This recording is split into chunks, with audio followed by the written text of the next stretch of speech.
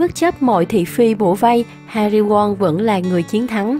Sở hữu hit quốc dân, nút bạc play YouTube, hình ảnh phủ sóng trong nhiều lĩnh vực, đó chính là điều mà Harry Won làm được trong suốt một năm qua. Harry Won là nữ nghệ sĩ được quan tâm nhiều nhất ở làng giải trí Việt trong suốt một năm qua. Nhiều người cho rằng độ phủ sóng của giọng ca gốc Hàn Quốc là dựa vào chuyện tình cảm ồn ào với Trấn Thành, cùng không ít tai tiếng bên lề như ăn mặc xấu, bị nghi ngờ không nói giọng thật. Tuy nhiên, bỏ qua những ồn ào thị phi không đáng có, Harry Won lại là người chiến thắng khi đạt được thành tích dấu mốc đáng nhớ. Sở hữu bản hit đình đám, không ca khúc nào có thể vượt mặt. Khoảng giữa đầu năm 2016, hoạt động nghệ thuật của Harry Won gần như bị đóng băng bởi ồn ào chuyện cá nhân.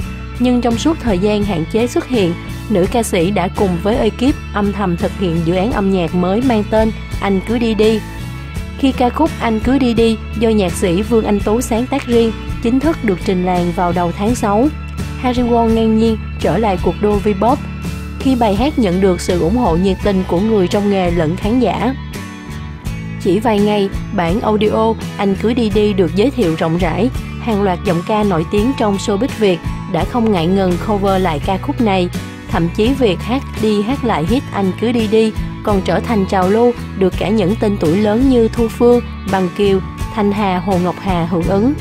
Với sự lan tỏa của hit mới, Harry Won liên tục được mời đi diễn trong các chương trình sự kiện lớn trong ngoài nước. Bên cạnh đó, giá cát xê của nữ ca sĩ cũng tăng vụt và đạt ở mức nhiều giọng ca trẻ nổi lên, cùng thời cũng phải ao ước. Tính đến thời điểm hiện tại, Anh cứ đi đi chính là ca khúc quốc dân của V-pop năm 2016, bởi không có ca sĩ nào sở hữu được sản phẩm đủ bản vượt mặt hit của Harry Won. Cũng trong năm 2016, Harry Won còn ra mắt thêm ca khúc Yêu không hối hận và cũng nhận được nhiều tín hiệu khả quan từ phía công chúng. Đạt nút playback của YouTube, thành tích ca sĩ trẻ nào làm được. Đến thời điểm tháng 11 2016, YouTube đã chính thức trao cho Harry Won bằng chứng nhận nút playback vì đạt được 100.000 lượt theo dõi trên kênh chia sẻ theo video lớn nhất hành tinh. Nút vàng là 1 triệu người và nút kim cương là 10 triệu người.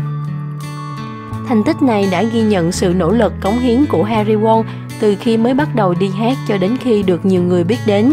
Chỉ tính riêng từ tháng 8 2013 đến thời điểm hiện tại, tổng số lượt view clip do Harry Won và ekip đăng tải đã đạt đến con số khủng là gần 33 triệu lượt xem. Được biết, ở Việt Nam, rất hiếm có ca sĩ trẻ nào được YouTube trao chứng nhận nút playback. Ngay cả nghệ sĩ có ảnh hưởng như nghệ sĩ ưu tú Hoài Linh thì phải tận đến tháng 10 2016 anh mới có được thành tích tương tự. Hình ảnh phủ sóng trong nhiều lĩnh vực. Không chỉ thành công trong lĩnh vực ca hát, năm 2016, hình ảnh của Harry Won còn được phủ sóng ở nhiều lĩnh vực khác nhau. Riêng với phim ảnh, dịp đầu năm, vai nữ chính của Harry Won trong phim Bệnh viện ma đóng chung với Trấn Thành đã ra rạp toàn quốc. Sau đó, cô còn được ekip thực hiện dự án phim điện ảnh ăn khách 49 ngày mời đóng thay thế Nhã Phương ở phần 2 cũng trong năm vừa qua, Harry Won vẫn duy trì công việc dẫn chương trình ở một số game truyền hình và được làm người mẫu, hình ảnh đại diện cho các thương hiệu nổi tiếng. Nhìn lại hành trình một năm, hình ảnh tên tuổi của Harry Won cũng bị ảnh hưởng ít nhiều vì chuyện cá nhân, song sự cố gắng và luôn chăm chỉ làm việc đã giúp cho cô gái 31 tuổi thăng hạng trong showbiz Việt một cách nhanh chóng.